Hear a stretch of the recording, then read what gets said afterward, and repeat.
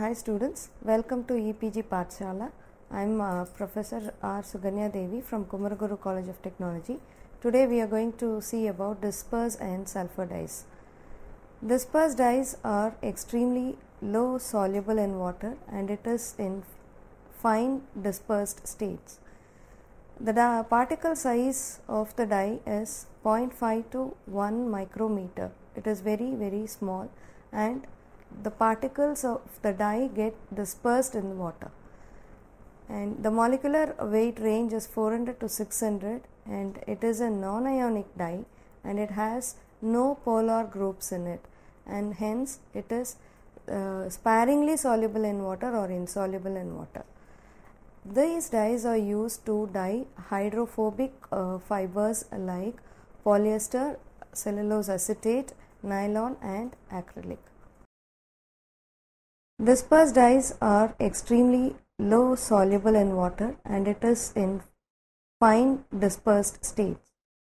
The particle size of the dye is 0.5 to 1 micrometer. It is very very small and the particles of the dye get dispersed in water. The molecular weight range is 400 to 600 and it is a non-ionic dye and it has no polar groups in it and hence it is sparingly soluble in water or insoluble in water. These dyes are used to dye hydrophobic uh, fibers like polyester, cellulose acetate, nylon and acrylic. Properties of dispersed dye. As we earlier saw, the dispersed dyes are insoluble or uh, to some extent they are soluble in hot water. So when you apply, when you immerse dispersed dye in water, it gets dispersed and there is no solubility. When when we apply higher temperatures, the solubility of the dispersed dyes gets improved. Moving on to the fastness properties, dispersed dyes possess fair to good light fastness properties and good wash fastness properties that is 3 to 4 grade. Dispersed dyes are normally sensitive to nitrogenous fumes which come from automobiles.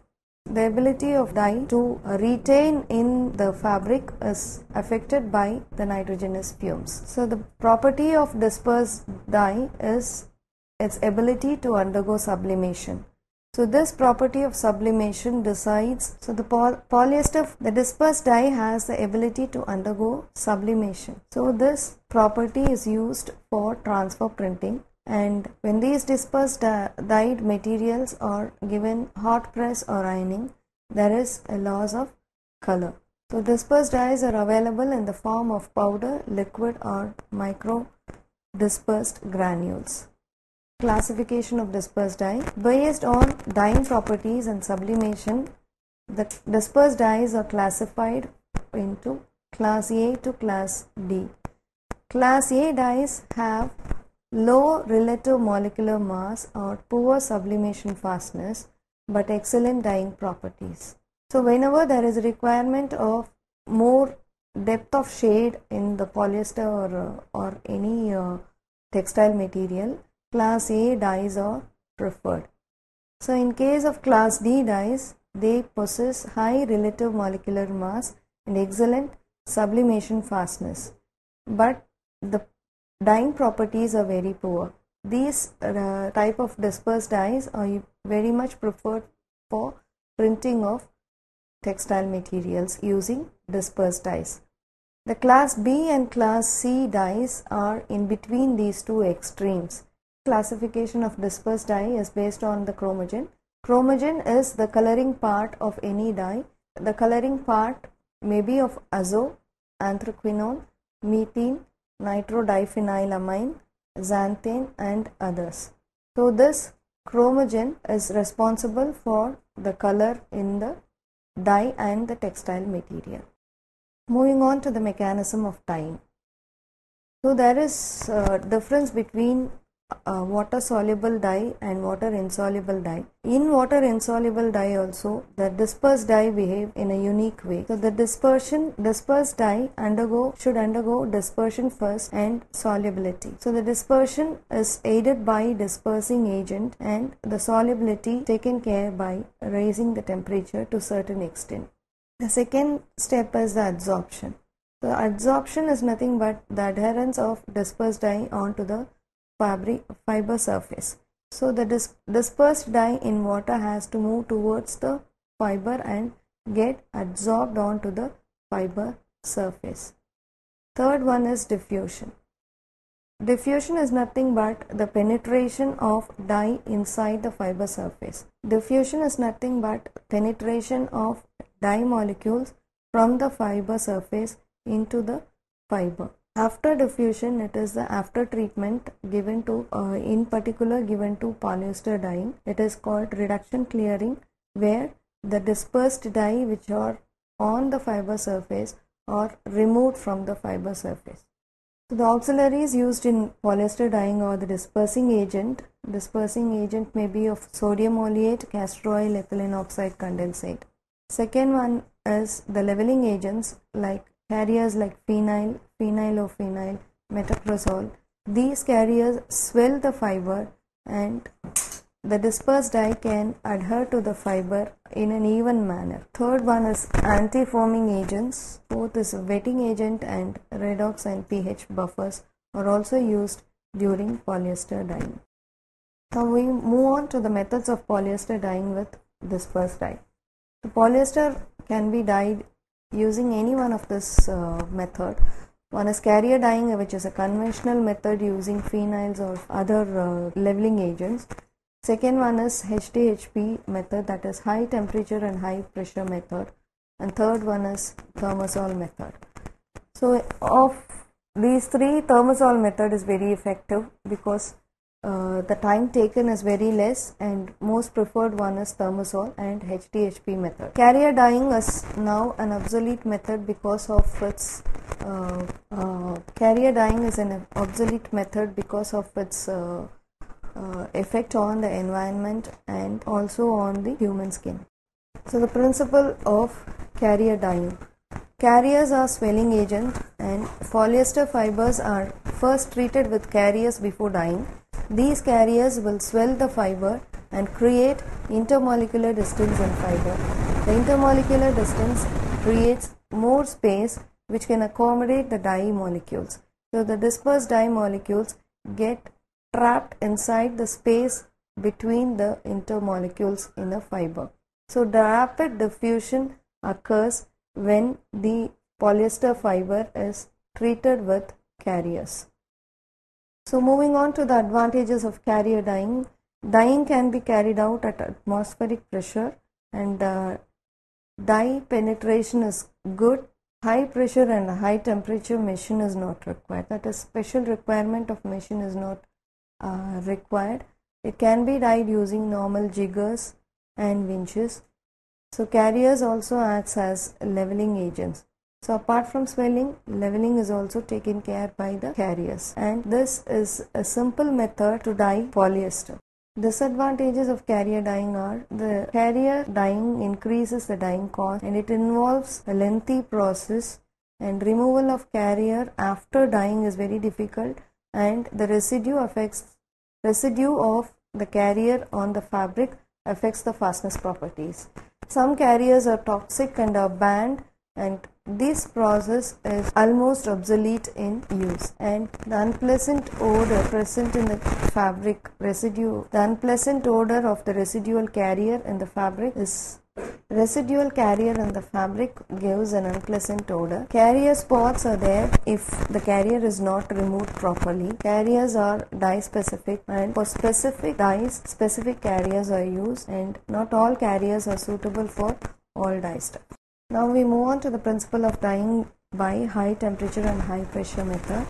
So here the principle is uh, different from carrier. Carriers are used to swell the fibers whereas in high temperature and high pressure method the fiber, the polyester fiber is taken towards glass transition temperature. Glass transition temperature is nothing but a, a temperature which in which the fiber acts as a rubbery state. It is a second order transition and the fiber intermolecular fiber movement will be there in glass transition temperature. So at this temperature the dyeing takes place and the dye molecule from the dye bath is getting transferred to the fiber and due to the rubbery state of the fiber the dye molecules get entrapped. So, in order to obtain high temperature and pressure, uh, in order to obtain glass transition temperature, high temperature and high pressure are applied. So now we move on to thermosol dyeing.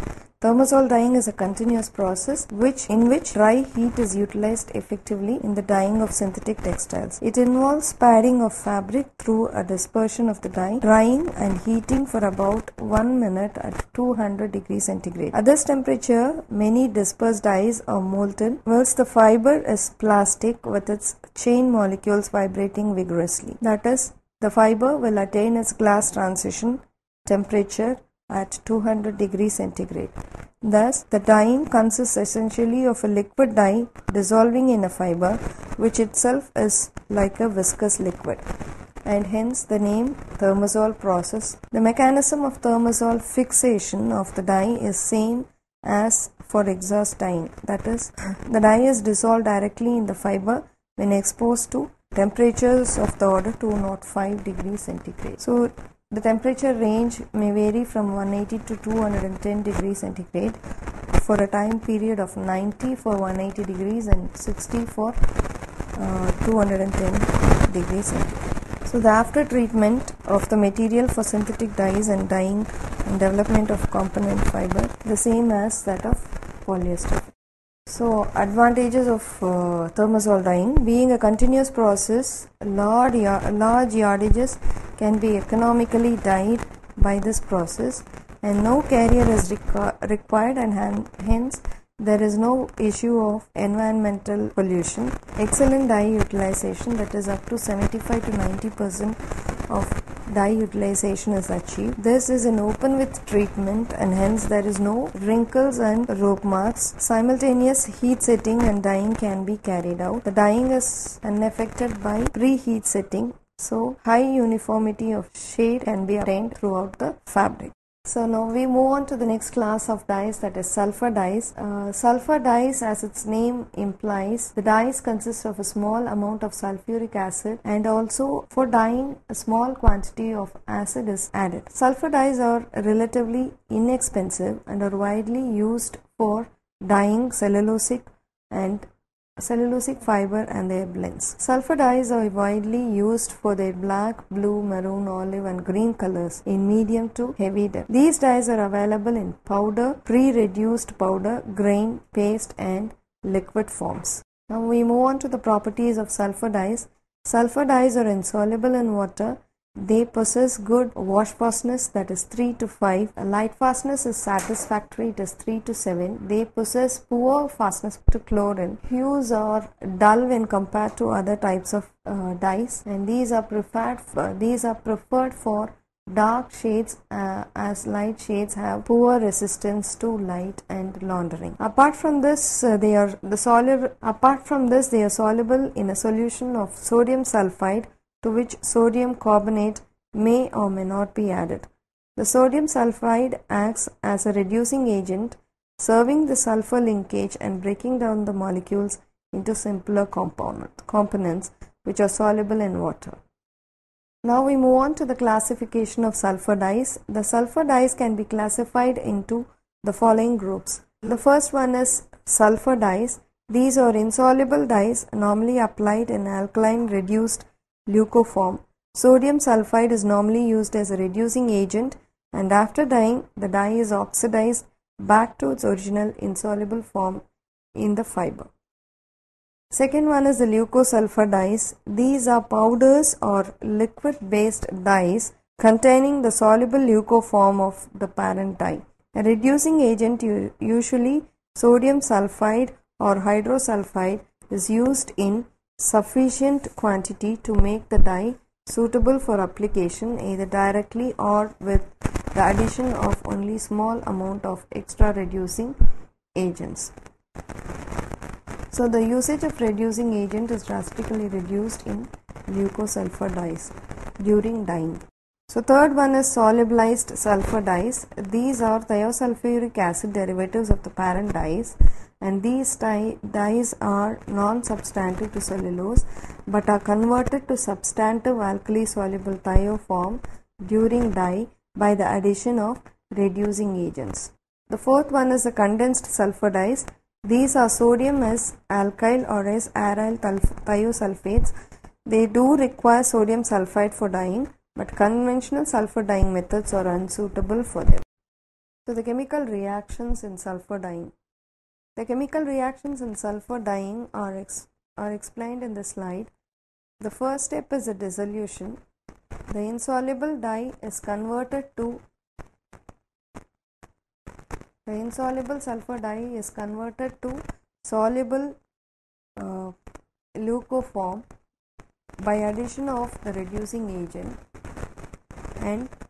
the dyeing is carried out this becomes uh, the normal dyeing will be carried out and the thiols containing SH groups are readily oxidized in the fiber to the original insoluble sulfur dye after dyeing and giving a color with very good fastness properties.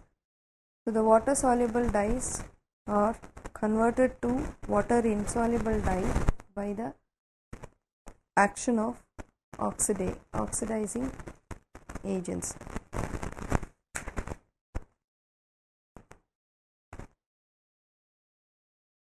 Shall I do this again? I am not confident.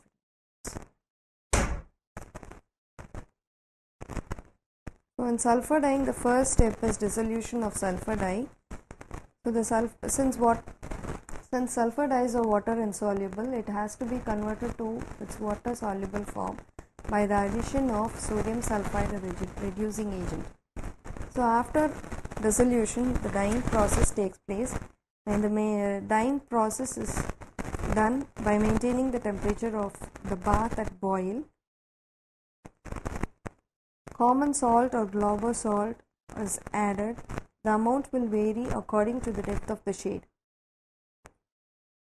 The common salt should be added in portions while keeping the bath temperature at boil. So the next step is uh, oxidation process.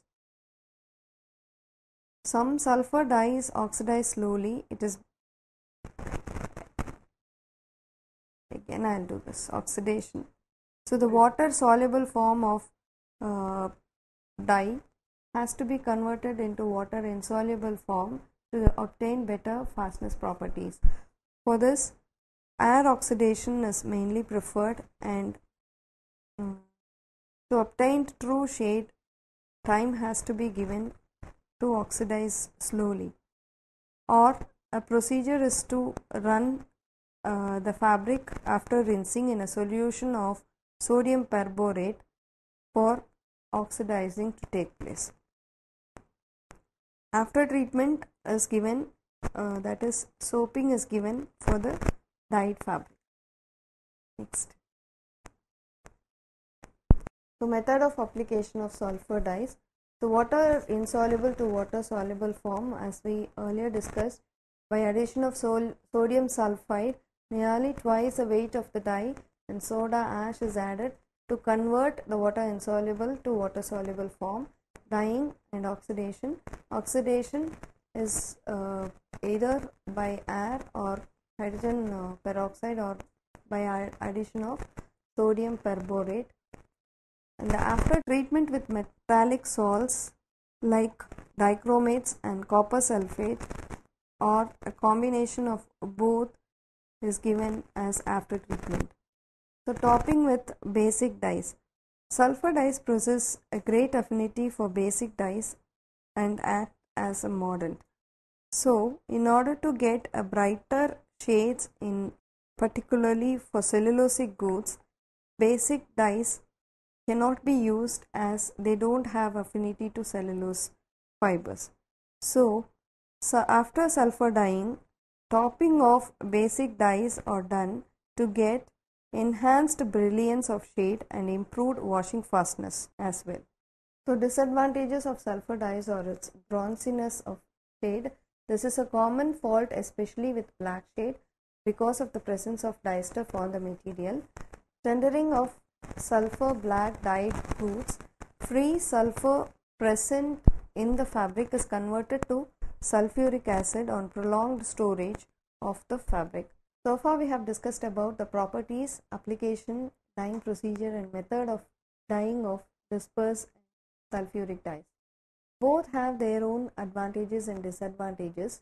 These are utilized or selection, selection of the dye is based on the end use of any textile material. So far we have discussed about the properties, application, dyeing procedure and method of dyeing of disperse and sulfuric dyes.